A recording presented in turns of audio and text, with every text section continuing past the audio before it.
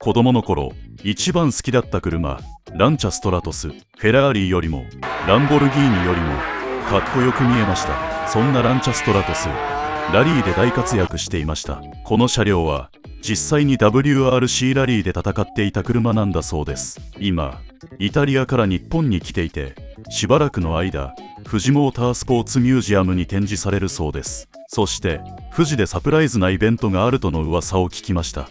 行ってみようかな。